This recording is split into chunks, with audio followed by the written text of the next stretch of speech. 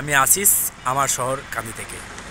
আজকে শুভ দীপাবলির শুভেচ্ছা সকলকে জন্য রইল এবং আজকে যে শুভ দীপাবলি, তার জন্য আমরা বেরিয়েছি কান্দি সাব ডিভিশনের এক সুন্দর এক জায়গা, যেটা হচ্ছে গোকর্ণ। আমি আমি আগের বছরে এসেছিলাম গোকর্ণ ঠাকুর দেখার জন্য এবং সুন্দর সুন্দর মায়ের মূর্তি এবং সুন্দর সুন্দর লাইট এবং মানুষজন নিয়ে একটি নতুন ভিডিও আমি আপলোড করছি আজকে। শুভ দীপাবলির দিনে। সকলে ভালো থাকবেন এবং অপরকে ভালো রাখার চেষ্টা করবেন।